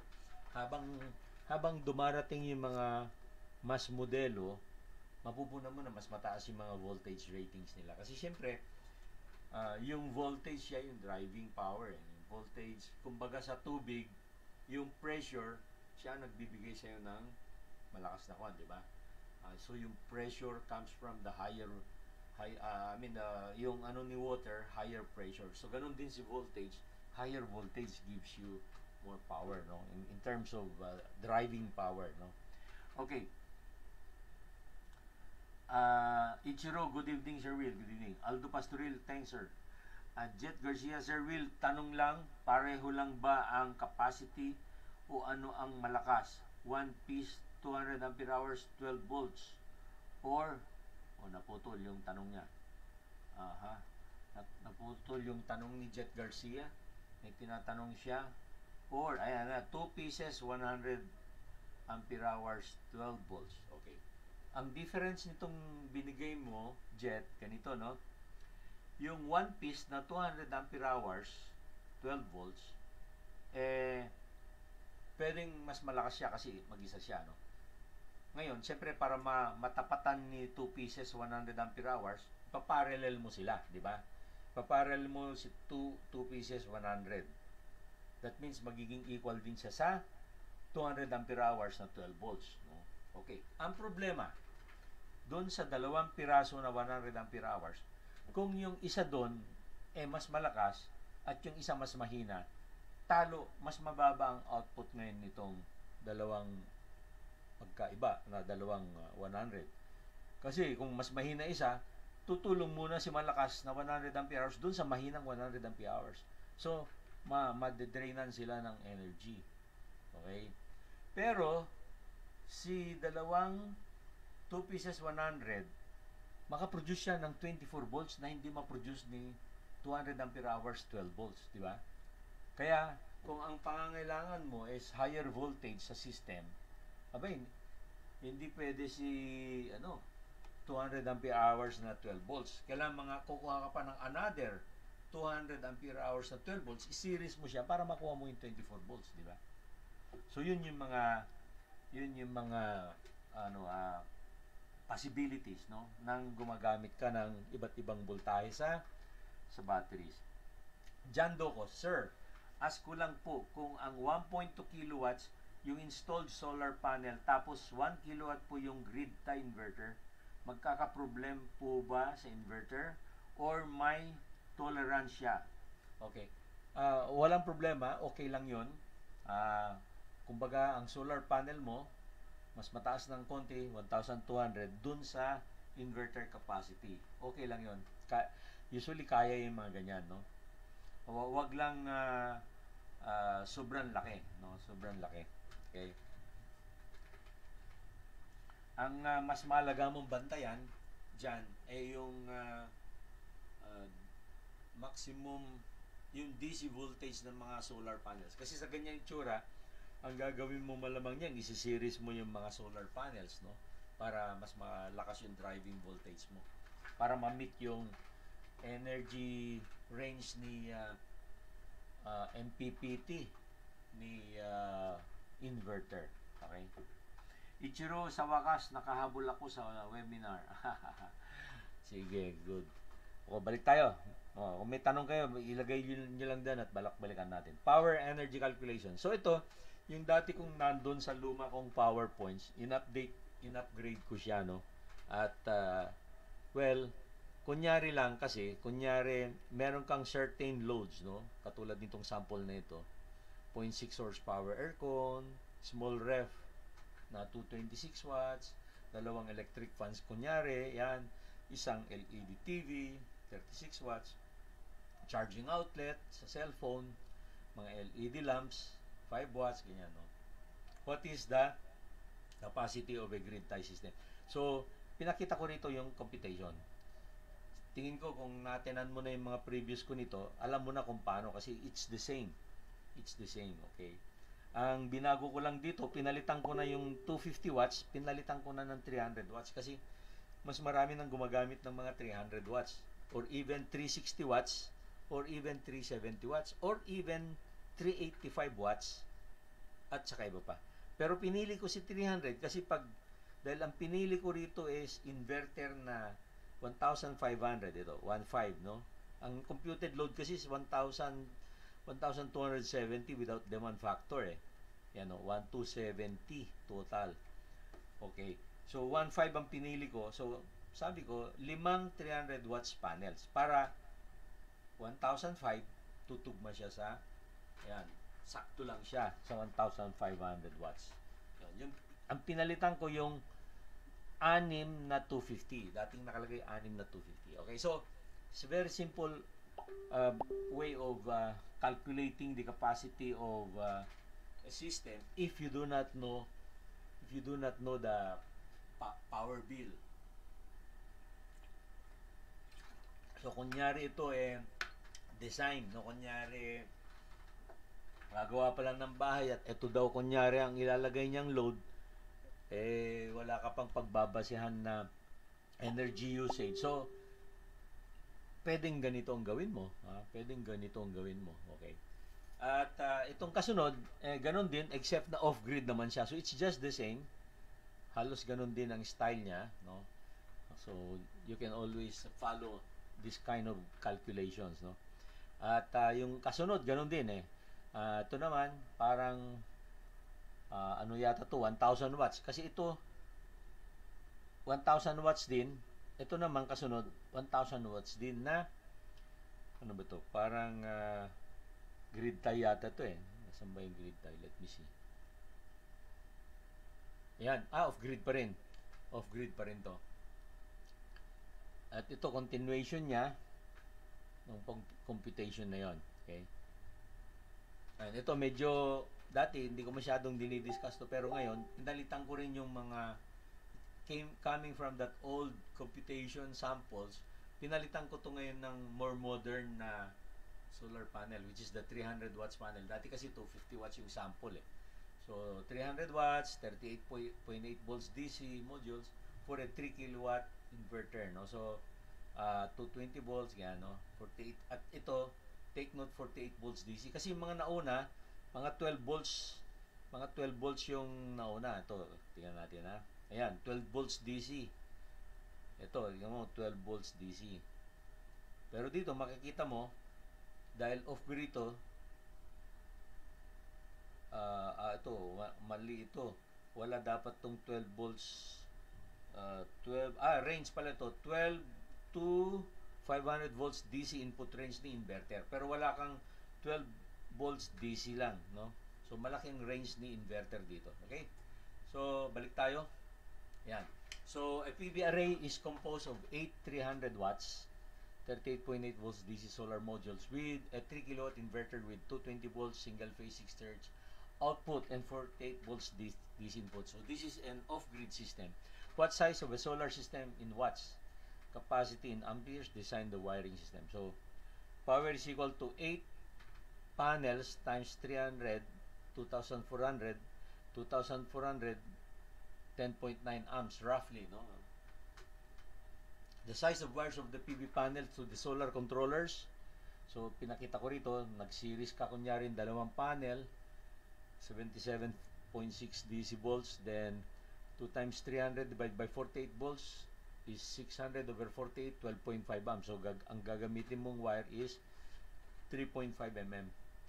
30 amps uh, for every two panels. And then size of wires for the so- for the solar controller to inverter is 4 times 12.5 or 50 amps. So, yan. So, 62.5 amps. Use 80 amps solar controller. So, ito mga pulse width modulated pa tong assumption dito. Two sets of 2 das 5.5 square mm. Dalawang 40 amperes, 80 amperes. And then, size of wires from inverter to tie breaker is uh, IC is equal to 10.9. So, dalawang 2.0 plus ground protection 15 amperes. May kasunod pa to eh. Install array of 4 4,000 watts. Ito naman. So, so gagamitin mo yung kwan ah, ilang panel ang ah, photovoltaic panel kakabit mo rito sa 4,000. So, ang gagamitin mo 370 watts. Oh, sorry. Nagkamali ito ah. So, ang ginamit dito is ah, 300 hindi 370. Dapat 300 ito. So, 300 13.33 So, say use 14 panels, so divisible by 2s. Okay, since the rating of the inverter is 48 volts DC, we need at least two panels in series to produce 48 volts DC. Maximum voltage of two panels in series is 2 times 38. Ayan, yung 38 na yun, no? Equals 77.6. Charge controller to be set at 55 volts DC floating. Then continuation for the size of the wires from the two panels in series to charge controller 2 times 300 divided by 48 12.5 amps. So add 25% 15.625. So select a wire dalawang 3.5 mm royal cord red or black. DC protection is uh, 30 amperes. Number of uh, cap- and capacity of charge controller is 12.5 times uh, 1 125% is 15.625 20 amps charge controllers 7 each 20 amps charge controllers 1 each for the two panels so ito ang assumption nito is PWM pulse width modulated yung system okay? For the size of the wires from each of the controllers to the battery bus use 7 sets to 3.5 mm square mm Uh, power for the battery is equal to 4,000 divided by 48 volts equals 83.3 amps. So, overall DC breaker protection is 100 ampere triptopol. No? Uh, pag DC, kailangan DC breaker. No? 5.6 from battery bus to inverter is 4,000 watts divided by 48 is 83.3. So, use dalawang 22 mm. Ang 22 mm kasi hanggang uh, 90 amperes ang kaya niyan. Okay. Overall DC uh, breaker protection 100 ampere trip double circuit breaker. Okay.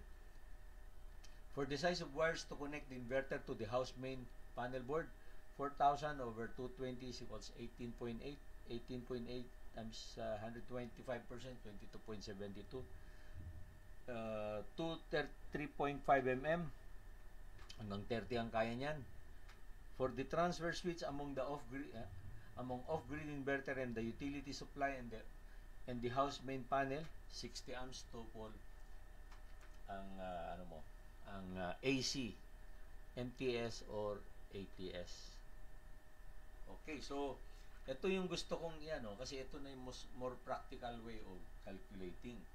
Okay so let's go back to the chat box. Aha. Diyan Ducos, ask ko lang po kung ah, natanong ko na yan, tanong mo na yan. Ichiro, ah okay, so walang tanong. Ah, sandali ha.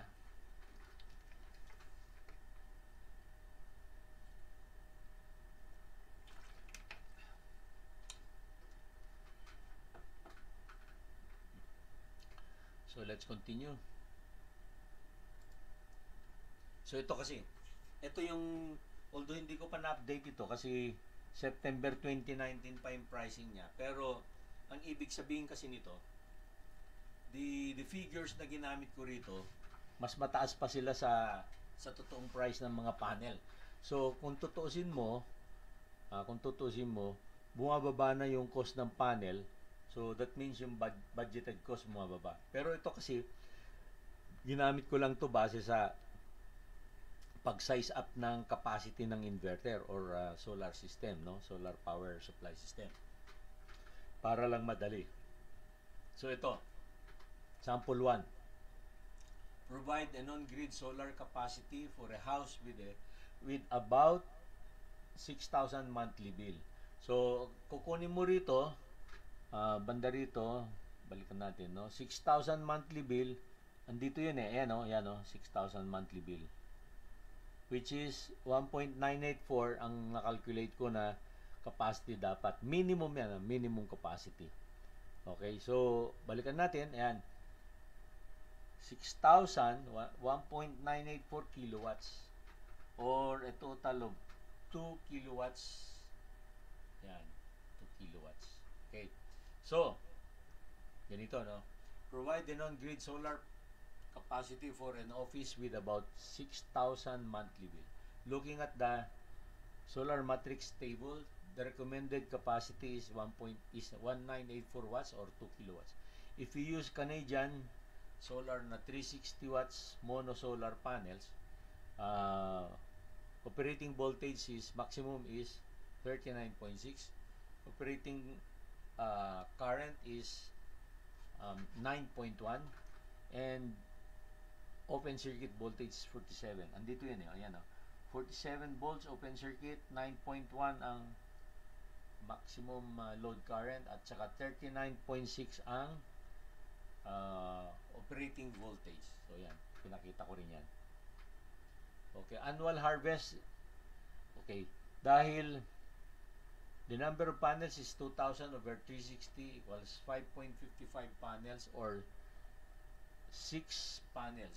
Round of 2 to 6 panels. No? So, actual harvest is you, you multiply yung 6 by 360 so you get 2,160.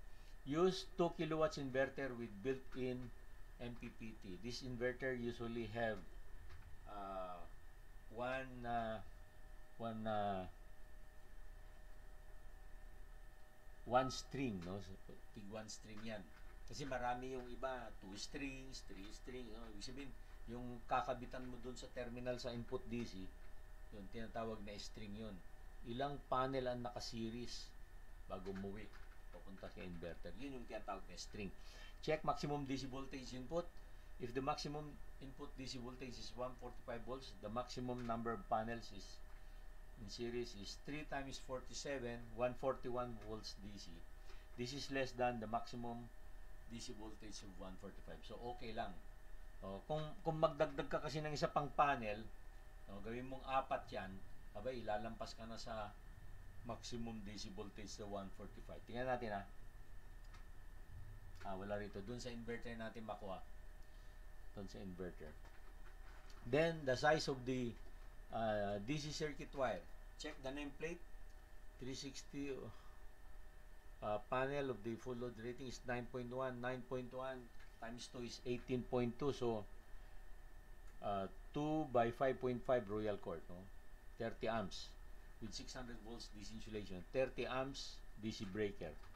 Full load invert full load of inverter is 2000 over 220 over 0.8 11.36 then use 2 na 3.5 square meters techets and wires or use uh, uh, uh, with ground wire yan so simple lang to 2 kilowatts computation now another one uh, provide enough grid solar capacity for a house with 12,000 monthly bill So again, kung kinuha ko doon sa matrix, ayan, 12,000 monthly bill ito.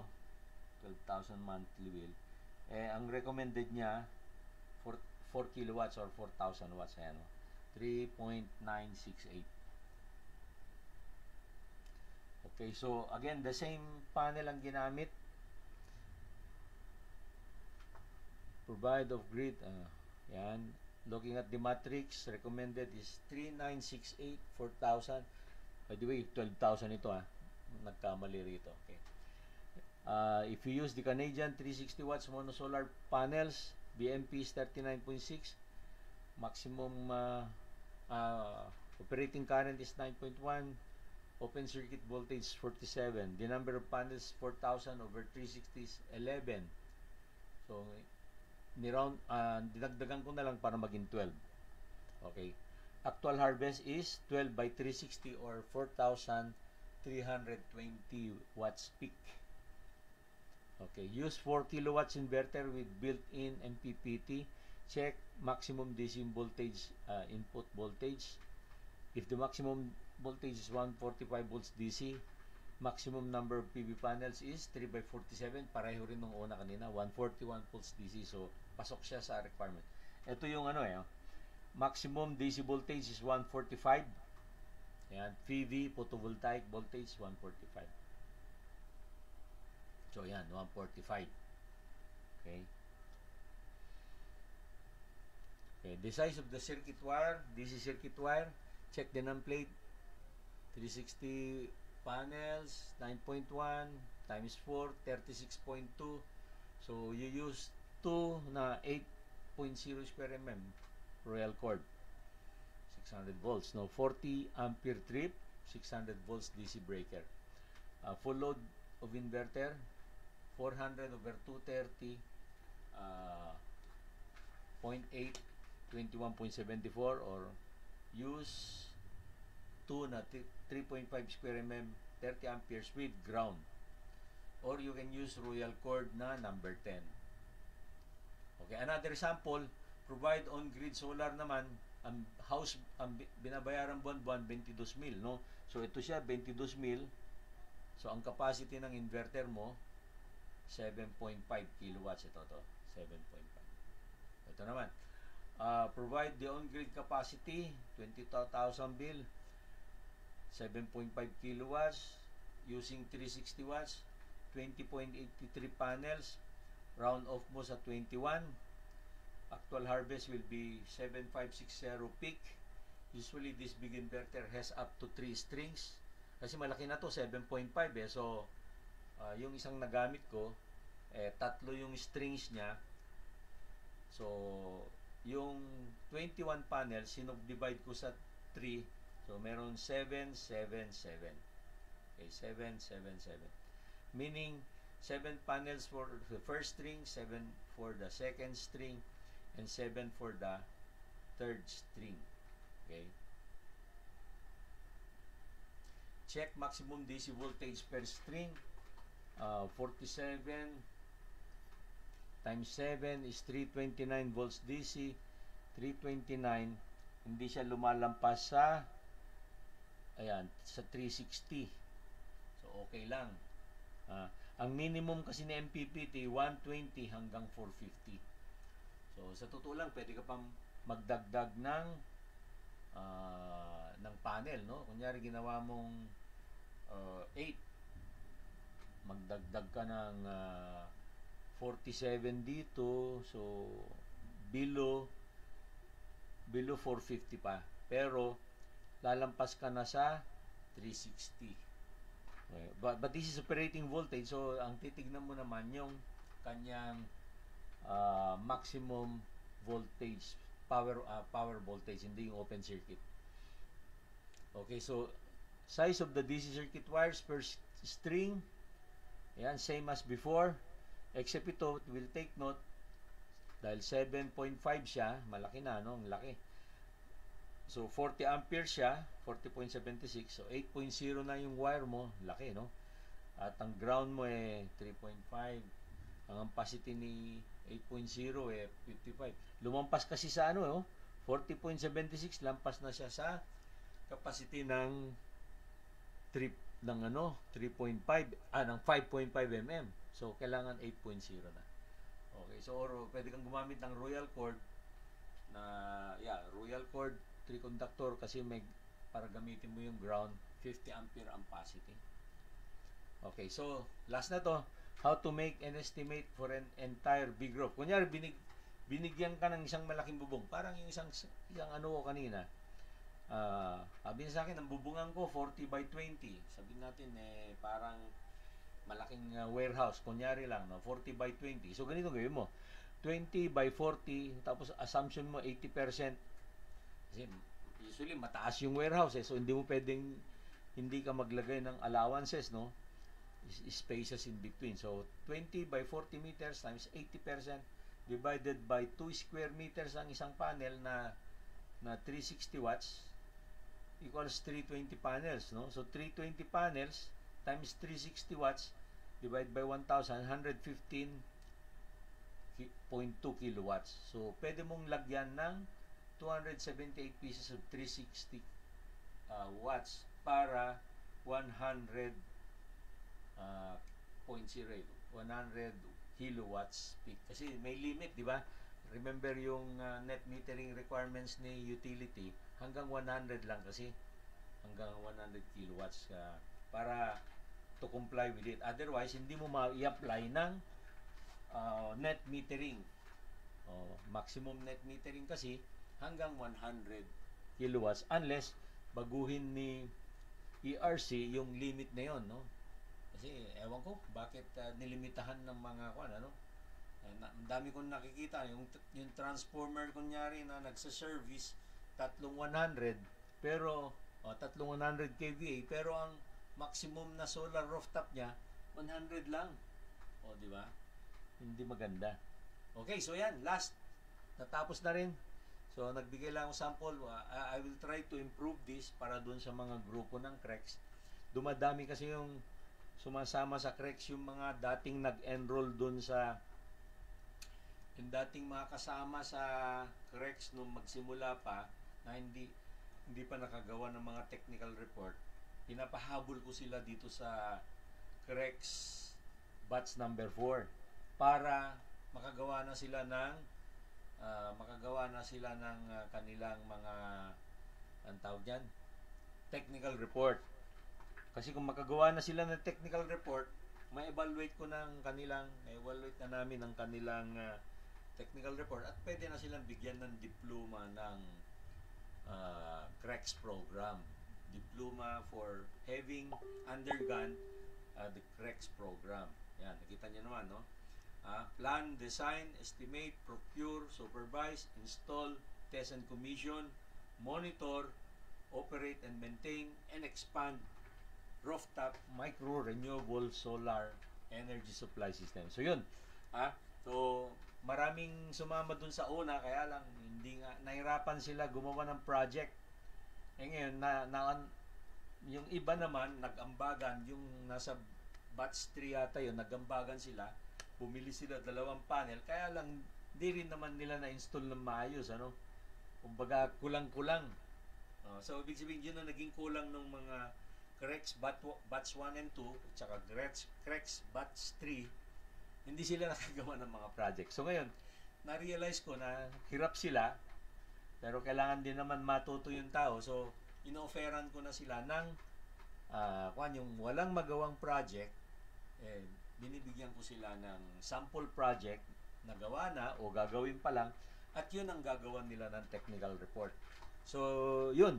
Yung mga uh, naka-enroll sa CREX uh, batches na ang kulang na lang technical report, pwede ko na kayong bigyan ng project Ha? Kung wala kayong ginawa pa, wala pa kayong magamit na project para sa technical report, pwede ko kayong bigyan at yun lang gawan nyo para makagraduate na kayo.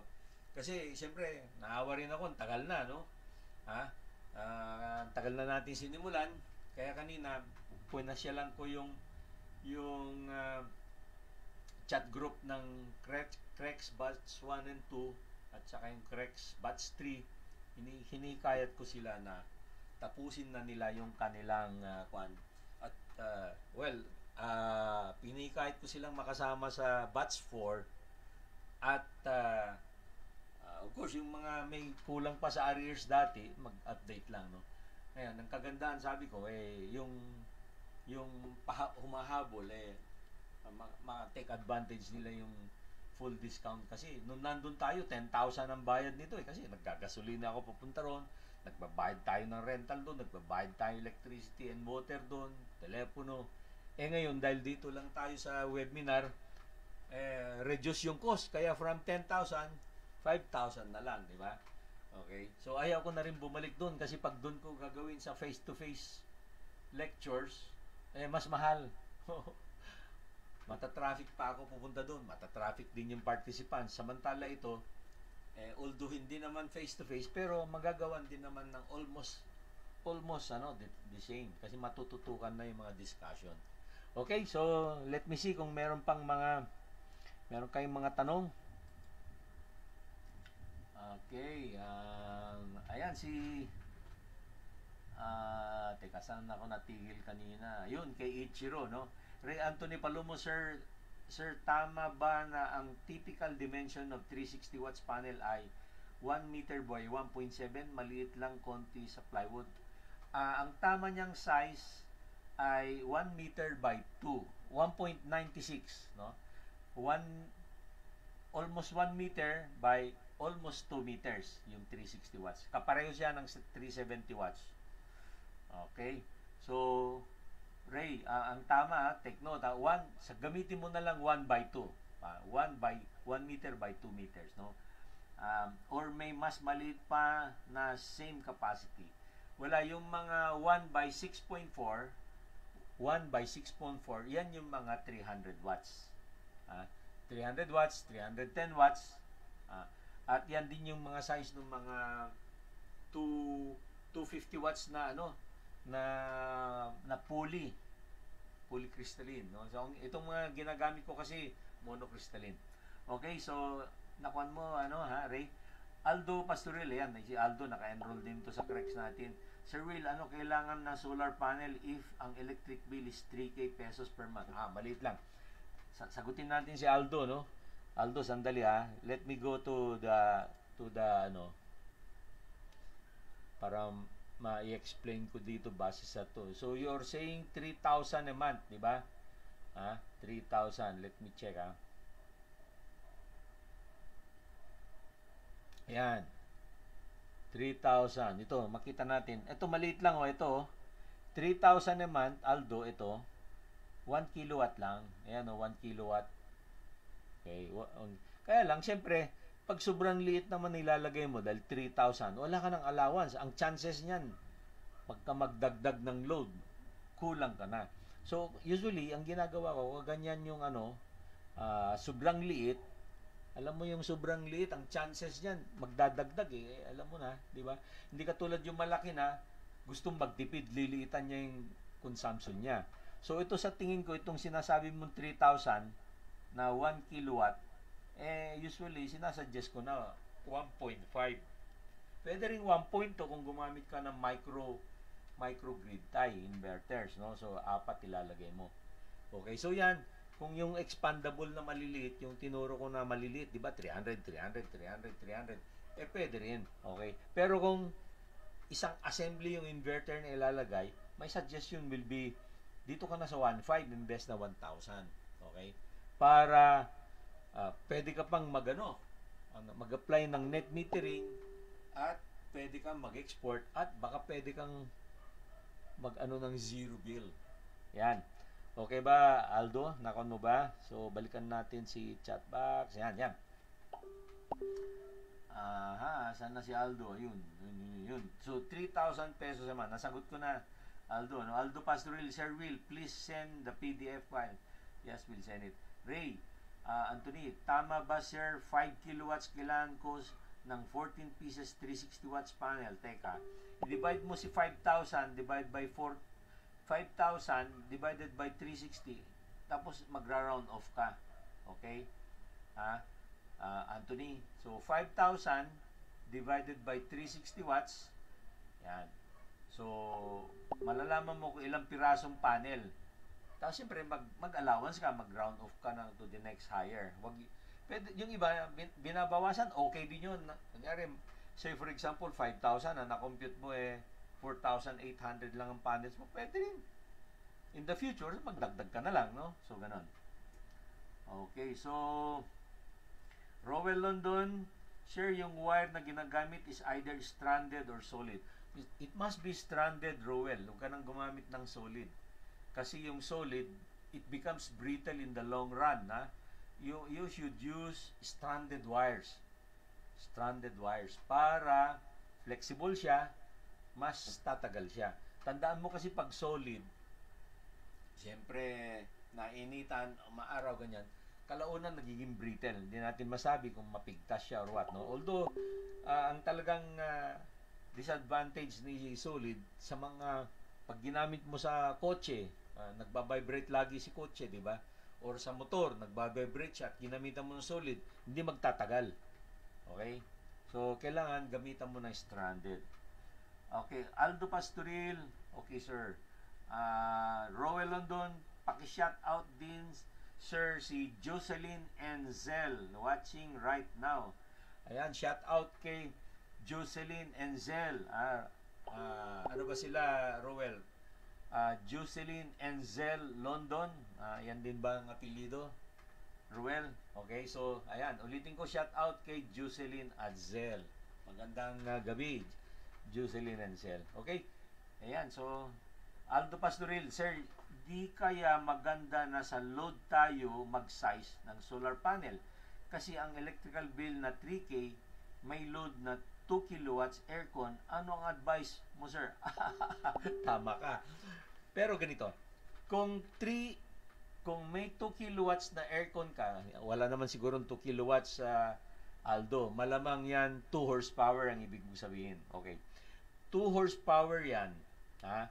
At grid tie ang ginamit mo. Wala kang problema kasi yung starting current ni 2 kilowatt, uh, 2 horsepower, malaking motor, eh, naka-back up si Meralco. Ngayon, ang problema kung 2 horsepower yung aircon mo, tapos off-grid ang gagamitin mo. Okay ang suggestion natin pag off-grid, eh, pinapalakihan si inverter ng uh, twice. Pero na- na-mention ko na rito last time na pagka off-grid inverters, usually ang starting capacity nila is twice the rating. So, say nakita mo yan, nakalagay uh, 5 kilowatts na ano na off-grid. Uh, ang starting current starting load capacity niyan yung para makaya niya yung starting is double the 5 which is 10. Ganun siya. Okay? Kasi nga uh, yan ang problema ni ni off-grid. Wala siyang backup eh. Di ba? Wala siyang backup. So, pinapalakihan. Okay? Pero kung grid tie, wala kang problema kasi malaking capacity ni Meralco. Okay, Aldo? So, at isa pa, we highly recommend na yung mga ganyan malalaking load like uh, aircon, eh kung pwede palitan na yan ng ano ng uh, inverter type aircon. Kasi kung lumang aircon pa yan, ang laki starting current talaga. Ah, hindi maganda. Dadapa yung mga uh, eh, ano mo, actually times 3 ang nire-recommend ko eh. Pero yung mga nagmamanufacture ng inverter, times 2 lang ginagawa nila. Pero ako pag mag-size up, times 3 ginagawa ko. Say for example, sabi mo 2 kilowatts, uh, times 3 yan gagawin ko, gawin kong 6 kilowatts. Uh, so, yung 6 kilowatts, yun nga lang, sobra, maaring ang inverter mo nasa mga mga ano lang, nasa mga 4,000 watts. Ah, sorry, yung solar panel mo nasa 4,000 watts, pero yung inverter mo nasa 6,000 para yung starting current niya ano mo makakaya niya. At babackupan mo rin ng battery na malaki kasi yung battery mo magbibigay ng starting current eh, di ba?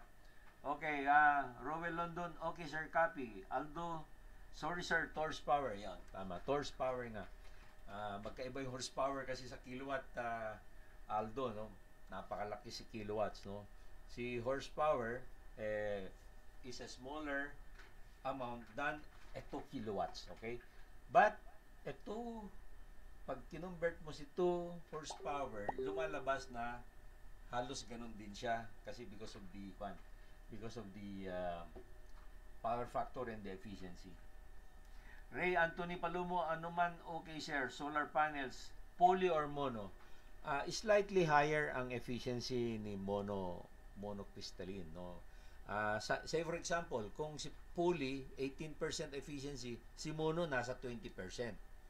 Pag mga 20% na si monocrystalline, ah, si polycrystalline, 22% naman si mono. So, slightly higher siya. Pero hindi ibig sabihin na na pangit si poly. Okay din 'yon.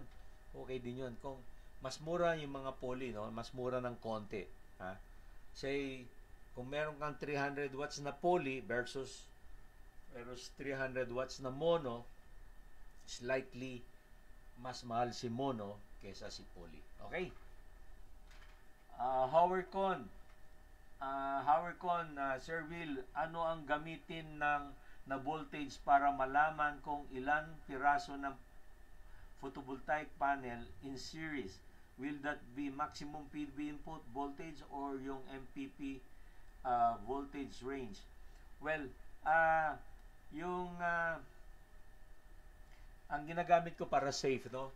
Yung open circuit voltage ng solar panel, yun ang ginagamit ko para mag-size ng uh, kung ano yung pinakamarami kong panel in series, no? Ayaw ko na ma-over yung maximum input voltage kasi uh, para mas longer life inverter. Kasi kung nalalampasan mo yung maximum input DC voltage, eh, hindi maganda yon di ba? Uh, mer- meron kasing ini-indicate kasi ni inverter yung yung kanyang maximum uh, voltage. So, tumingin tayo, tingin, tumingin tayo sa ano ha, sa samples, no?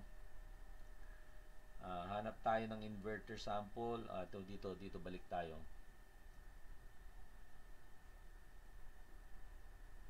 Ayan, kunyari itong SMA nito. Makita mo yung MPP, eh, sinasabi niya na ang pinakamababa niya 320 tapos ang pinakamataas niya 800 volts DC. So, ibig sabihin, pag nag-series ka ng mga solar panels, hindi dapat lalampas sa 800 volts yung maximum power.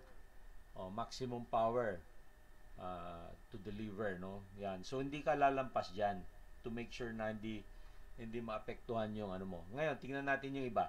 Ito, meron itong uh, nominal operating voltage 360 volts DC pero meron din siyang maximum solar voltage 500. So, pag open circuit voltage, hindi dapat lalampas dito. Ngayon, si MPPT naman, ito yung maximum uh, voltage sa peak, itong 450.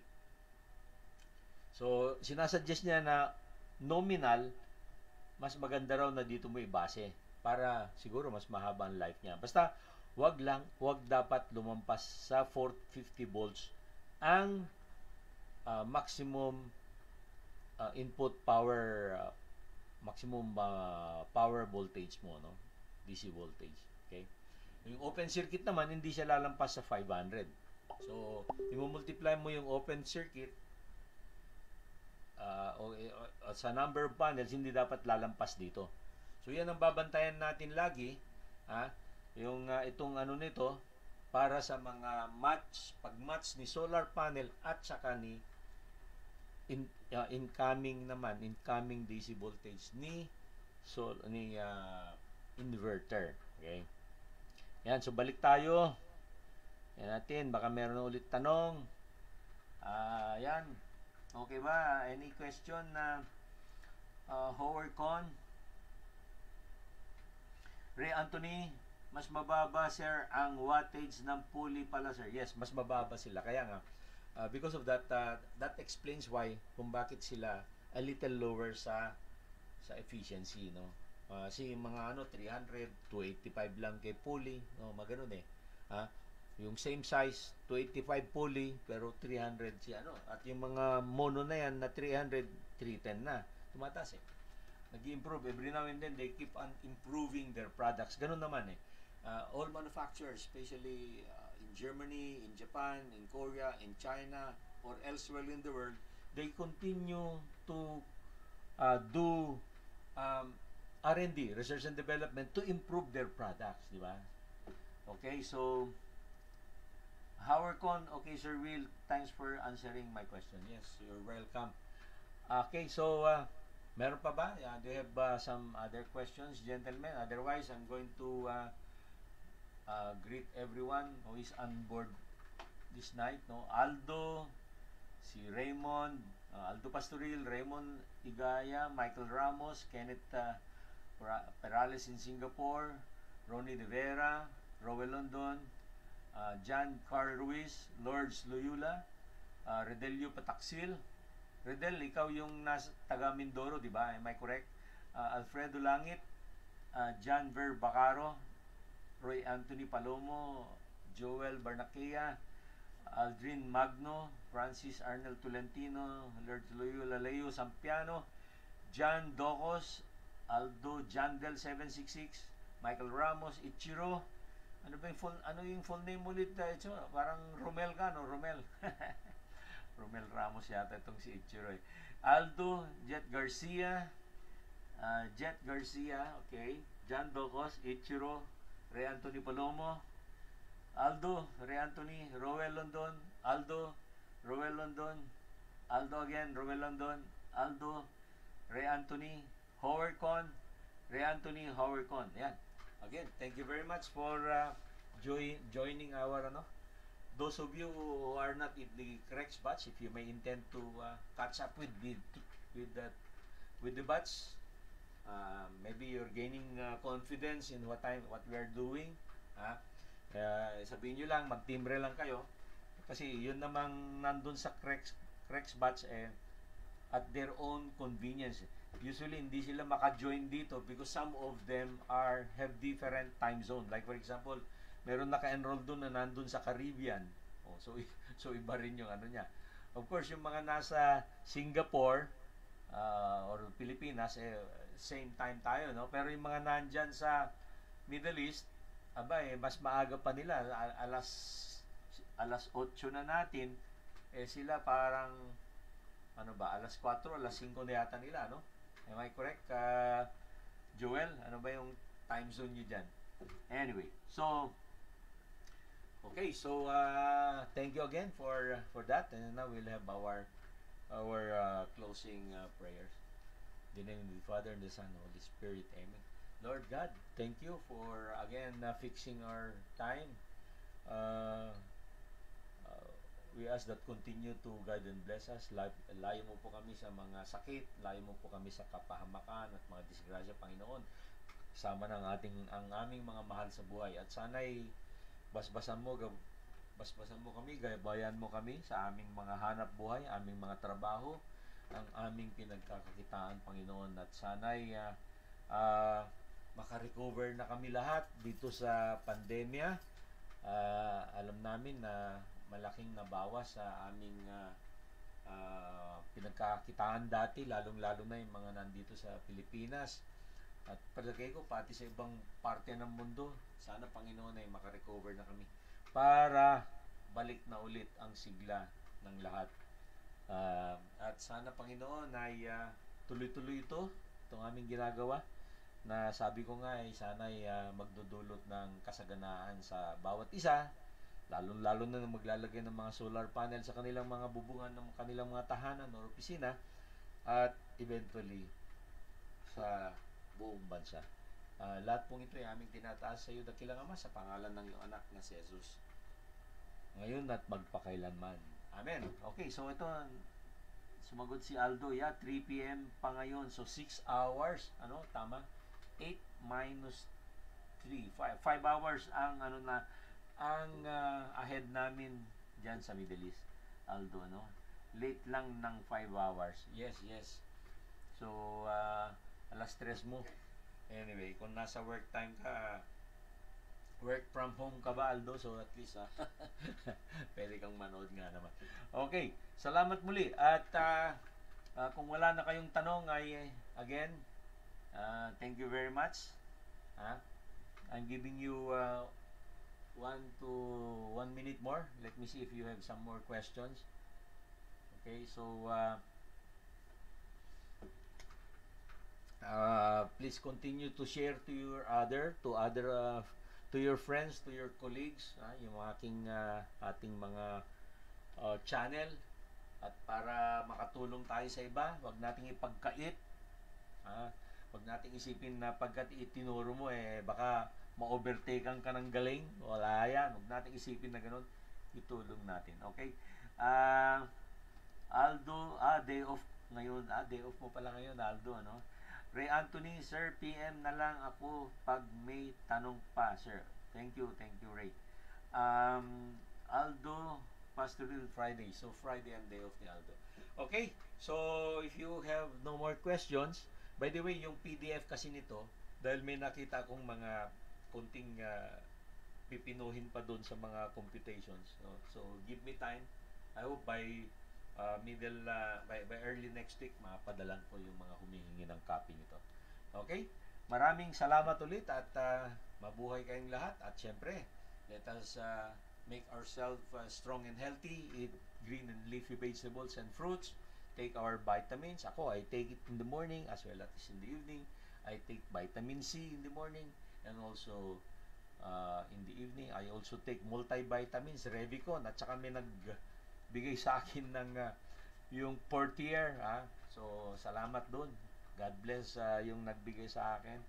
Uh, balang araw, babayaran ko rin kasi ka- kakaya naman eh. Hindi pwedeng bigay-bigay lang eh, no? Pero yung gustong magpalakas, ha? Portier. Okay? Ngayon, ah, paaraw din tayo, exercise din tayo. Yan, tas, uh, drink plenty of water every now and then as much as ako 12 to 18 glasses of water a day. Kaya kita nyo naman siguro ah, maski ganitong edad ko 66 eh okay pa naman. Salamat po no. Salamat Lord. Okay, uh, last message from Richard Angeles. Good night po. Good night everyone. God bless and stay stay healthy, stay fit. Mabuhay tayong lahat.